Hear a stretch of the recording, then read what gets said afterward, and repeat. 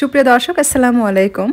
আজকের পর্বে আমি আপনাদের জন্য নিয়ে আসলাম খুবই মজার একটি ডেজার্ট আইটেম যেটা আপনারা মাত্র দেড় কাপ দুধ আর একটি ডিম দিয়ে তৈরি করে ফেলতে পারবেন। তো এটাকে আপনারা মালাই কেক বলতে পারেন, তবে এটা কিন্তু আমি ময়দা, সুজি বা আটা দিয়ে তৈরি করছি না। এগুলো ছাড়াই এই ডেজার্ট আইটেমটা তৈরি করে দেখাবো, যেটা খুবই সহজ তৈরি করা এবং অত্যন্ত মজার হয়ে থাকে। আর এটা কিন্তু একদম পারফেক্ট আপনারা হয়তো অনেকেই মালাই কেক ট্রাই করেছেন, দেখেছেন যে মালাই দেওয়ার পর সেটা ঠিক মতো মানে কেকের এপিট, ওপিট বা পুরো কেকটা যে ভিজে একেবারে নরম তুলতুলো হবে সেটা হয় না। এরকম যদি হয়ে থাকে তাহলে আমি বলব এই কেকটি মানে এই রেসিপিটা অবশ্যই ট্রাই করবেন। কারণ এটা একেবারে পারফেক্ট একটি রেসিপি আমি এ টু যে টিপস অ্যান্ড ট্রিক্স সহ রেসিপিটি শেয়ার করছি যেন আপনারাও এরকম স্পঞ্জি খুবই মজার মালাই কেক তৈরি করতে পারেন। তো আমি এখানে একটি মুরগির ডিম নিয়েছি। এটা সাদা অংশ সহ কুসুমটাকে বিট করে নিতে হবে। বেশ কিছুক্ষণ বিট করার পর দেখবেন এটা এরকম একটু লাইট হয়ে আসবে। সেই পর্যায়ে দিয়ে দিতে হবে চিনি, তিন টেবিল চামচ। একটি ডিমের জন্য তিন টেবিল চামচ চিনি পারফেক্ট এরপর আবারও এটাকে বিট করে নিচ্ছি। আপনাদের কাছে যদি ইলেকট্রিক বিটার না থাকে, সেক্ষেত্রে আপনারা হ্যান্ড হুইস ইউজ করতে পারেন, তবে সেক্ষেত্রে সময়টা বেশি লাগবে। চিনি গলে যাওয়া পর্যন্ত এটাকে বিট করতে হবে। একটা সময় দেখবেন বিট করতে করতে একদম সাদা হয়ে যাবে এবং অনেকটা ক্রিমের মতো হবে। সেই পর্যায়ে বিট করা থামাতে হবে। তো দেখুন, এটা কিন্তু অনেকটাই ক্রিমের মতো হয়েছে। তো এটা যত বেশি ক্রিমের মতো হবে, আপনার এই যে কেকটা কিন্তু ততই ভালো হবে।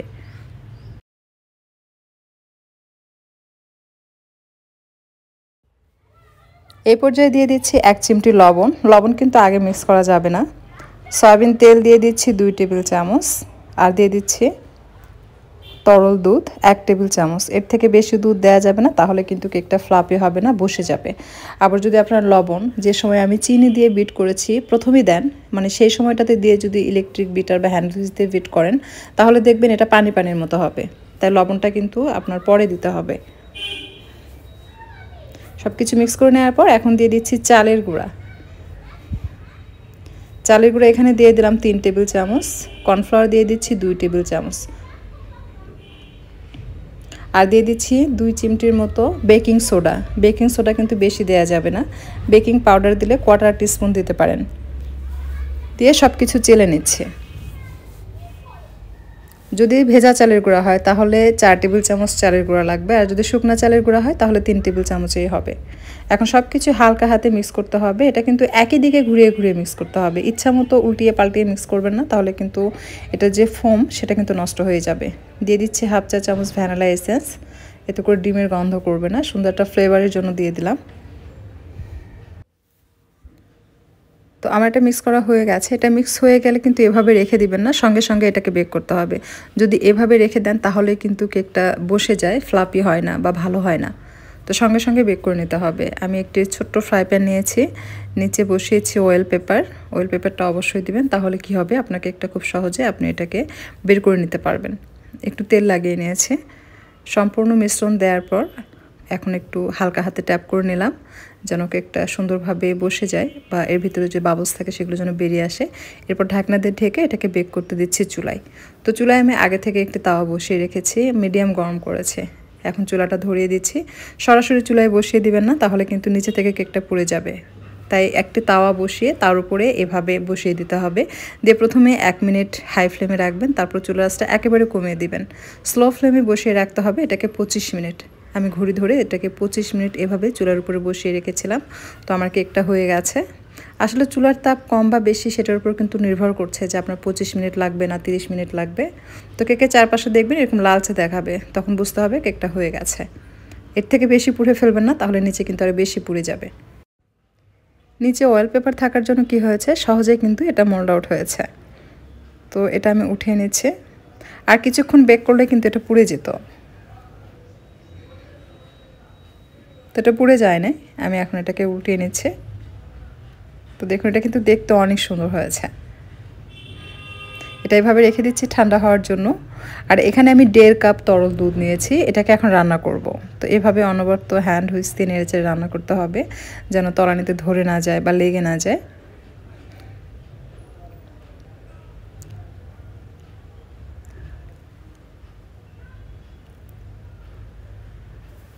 দিয়ে দিচ্ছি চিনি, এটা চা চামচ, আমি চা চামচ, উঁচু করে দুই চা চামচ চিনি দিয়ে দিব।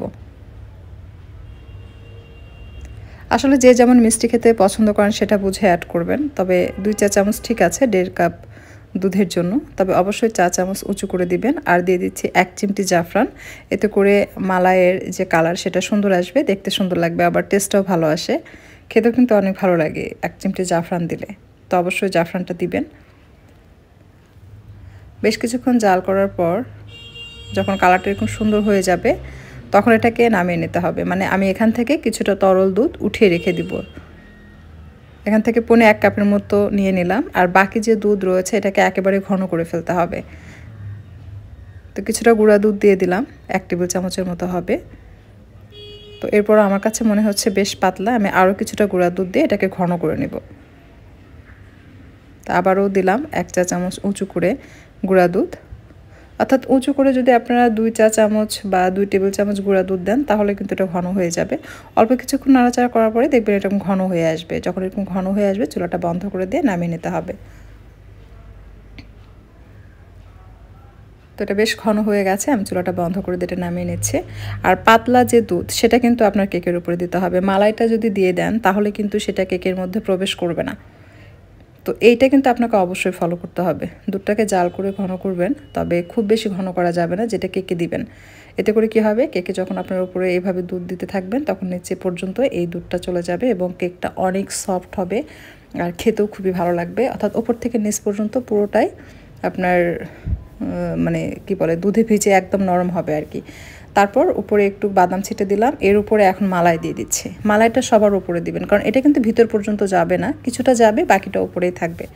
তো এভাবে উপরে পুরোটাই মালাই দিয়ে দিতে হবে। তো দেখুন, মালাই দেওয়ার পর এটা কতটা সুন্দর লাগছে আর কতটা লোভনীয় লাগছে, আপনারা নিশ্চয়ই দেখতে পাচ্ছেন। এটা কিন্তু দেখেই খেতে ইচ্ছে করছে। আর খেতেও অনেক মজার। আপনারা চাইলে ট্রাই করতে পারেন। চালের গুঁড়া দিয়ে তৈরি বলে এটা অনেক বেশি মজার ছিল। কারণ এর আগে আমি ময়দা দিয়েও তৈরি করে দেখেছিলাম। ততটা ভালো লাগে না। যতটা ভালো লাগে এটা চালের গুঁড়া দিয়ে তৈরি করলে। তো এর আগেও আমি চেষ্টা করেছিলাম যে এই রেসিপিটা আপনাদের সাথে শেয়ার করব। আমি ময়দা দিয়ে তৈরি করেছি, সেটা আমার কাছে তেমন একটা ভালো লাগেনি। তাই সেই রেসিপিটি আমি আপনাদের সাথে শেয়ার করে নিই।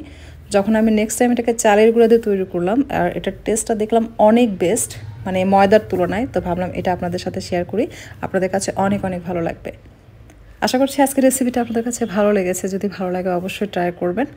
আর ট্রাই করলে কমেন্ট করে জানাবেন আপনাদের কাছে কেমন লেগেছে। এতক্ষণ আমার রেসিপি দেখার জন্য আপনাদেরকে অসংখ্য অসংখ্য ধন্যবাদ জানিয়ে বিদায় নিচ্ছি। আবারও চলে আসব পরবর্তীতে আপনাদের জন্য মজার কোনো রেসিপি নিয়ে।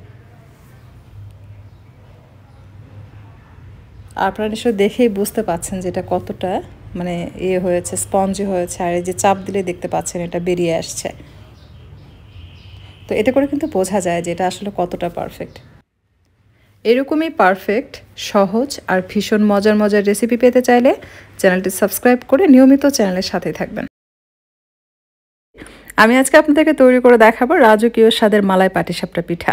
এটা খেতে এতটাই মজার যেটা একবার তৈরি করে খাওয়ার পর আপনাদের কাছে আর কখনোই নর্মাল পাটিসাপটা পিঠা খেতে ভালো লাগবে না। এর জন্য আমি এখানে নিয়েছি দুই মুঠ পরিমাণ পোলার চাল। অর্থাৎ কাপ দিয়ে যদি মেপে নেন ওয়ান থার্ড কাপ হবে। এটাকে আধা ঘণ্টার মতো পানিতে ভিজিয়ে রেখে পানিটা ঝরিয়ে ড্রাই করে নিতে হবে। তারপর এটাকে ব্লেন্ডারে অথবা শিলপাটায় গুঁড়ো করে নিতে হবে। তো আমি এটা গুঁড়ো করে নিয়েছি। চেলে নেওয়ার প্রয়োজন নেই। কিছুটা সুজি সুজির মতো দানা দানা থাকবে, কিছুটা পাউডার থাকবে। এরকম হলেই চলবে।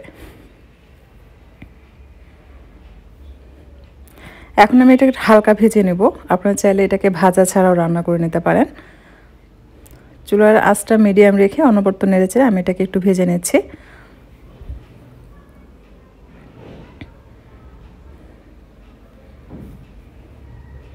ভাজা হয়ে গেলে চুলোটা বন্ধ করে দিয়ে তারপর আমি এটাকে চেলে নেব। চেলে নেওয়ার পর যে অবশিষ্ট অংশ থাকবে দেখতে পাচ্ছেন দলা পেকে আছে, এটা আমি আবারও একবার ব্লেন্ডারে ব্লেন্ড করে নিচ্ছি। দিয়ে দিচ্ছি নারিকেল এক কাপ। যদি না ভাজেন, তাহলে কিন্তু আর ব্লেন্ডারে বা চালের ঝামেলা থাকবে না। একবারে দুধের সঙ্গে মিক্স করে রান্না করে নিতে পারবেন। দুধ দিয়ে দিচ্ছি তিন কাপ। আপনারা চাইলে প্যাকেটের দুধ দিয়েও রান্না করতে পারেন, অথবা হালকা গরম পানির সঙ্গে গুঁড়া দুধ মিক্স করেও রান্না করে নিতে পারবেন, বা তরল দুধ দিয়েও রান্না করে নেওয়া যাবে, অর্থাৎ গরুর দুধ দিয়ে। আমি এখানে ওয়ান থার্ড কাপ গুঁড়া দুধ দিয়ে দিলাম। লবণ দিয়ে দিচ্ছি এক চিমটি পরিমাণ।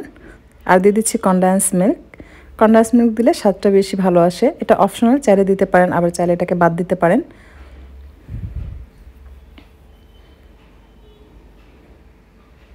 দিয়ে দিচ্ছি ওয়ান থার্ড স্পুন সাদা এলাচের গুঁড়া।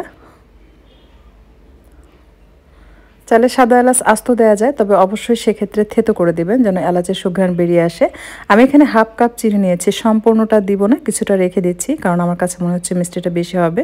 তো ওয়ান থার্ড কাপের মতো আমি এখানে চিনি দিলাম।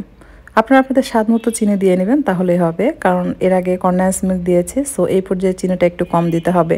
যদি কর্নাস মিল্ক না দেন, সেক্ষেত্রে হাফ কাপ চিনি লাগতে পারে।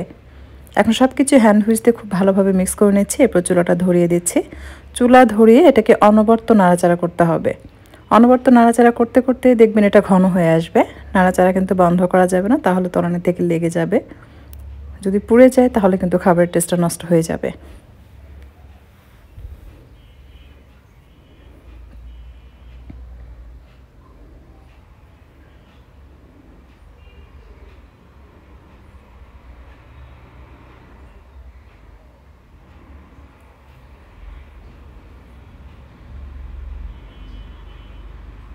তো আমার এটা কিন্তু প্রায় রান্না হয়ে গেছে, দেখতে পাচ্ছেন। যখন এরকম ঘন হয়ে আসবে, তখন চুলা থেকে নামিয়ে এটাকে ঠান্ডা হতে দিতে হবে। এটা ঠান্ডা হলে আরও কিছুটা টাইট হয়ে আসবে। তো এরকম ঘন হলে নামিয়ে ফেলতে হবে আর কি। আমি এটাকে নামিয়ে ঠান্ডা হতে দিচ্ছি। এখানে নিচ্ছি এক কাপ চালের গুঁড়া। এটা আতপ চালের গুঁড়া। আর দিয়ে দিচ্ছি হাফ কাপ ময়দা। লবণ দিয়ে দিচ্ছি হাফ চা চামচ। একটু তেল দিয়ে দিচ্ছে। খুব বেশি না, এক টেবিল চামচের মতো তেল দিলেই হবে। আর পানি দিয়ে দিচ্ছে, এটা নর্মাল পানি, এটা হালকা গরমও না বা গরম পানিও না। জাস্ট নর্মাল পানি দিয়ে দিচ্ছে। আমি দেড় কাপের মতো এখানে পানি দিলাম। দিয়ে হ্যান্ড হুইস দিয়ে খুব ভালোভাবে এটাকে মিক্স করে নিতে হবে যেন ময়দা বা চালের গুঁড়া দলা পেকে না থাকে। যদিও চালের গুঁড়ো খুব সুন্দরভাবে মিক্স হয় বাট ময়দা অনেক সময় দেখা যায় দলা পেকে থাকে। পানি যদি কম করে দেন, তাহলে দেখবেন ময়দা দলা পেকে থাকবে। সেক্ষেত্রে অনেক সময় নিয়ে এটাকে ফেটে নেবেন।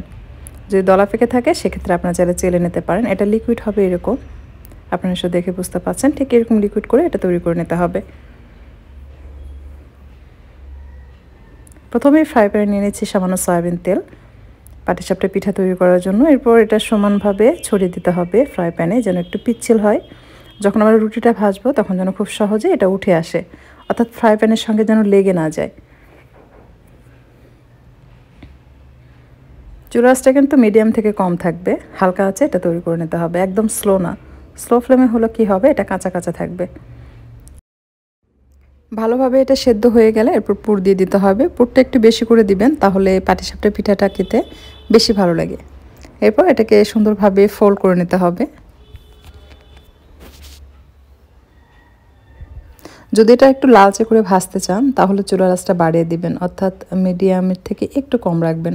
আর যদি সাদা করে ভাজতে চান, তাহলে স্লো ফ্লেমে রাখতে হবে। তো আমি চাচ্ছি এটা একটু লাল মানে লালচে করে ভাজতে, তাই মিডিয়াম থেকে একটু চুলা রাসটা কম রেখেছি, যেন একটু লালচে হয়। তো একটু লালচে হলে খেতে বেশি ভালো লাগে পার্সোনালি আমার কাছে। তো এটা ফোল করা হয়ে গেছে, এটা আমি উঠিয়ে নিচ্ছি ঠিক এভাবেই সমস্ত পিঠাগুলোই তৈরি করে নিতে হবে। ময়দার পরিমাণ বেশি দিলে কিন্তু একটু রাবারের মতো হয়, তাই ময়দা বেশি দিবেন না। চালের গুঁড়োর পরিমাণটা যদি বেশি থাকে, তাহলে পিঠাটা বেশি ভালো লাগে খেতে।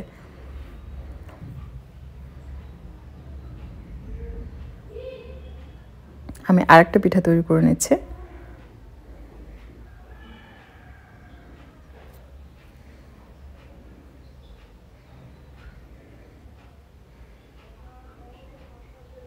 তো এভাবে সবগুলো পিঠা তৈরি করে নিতে হবে।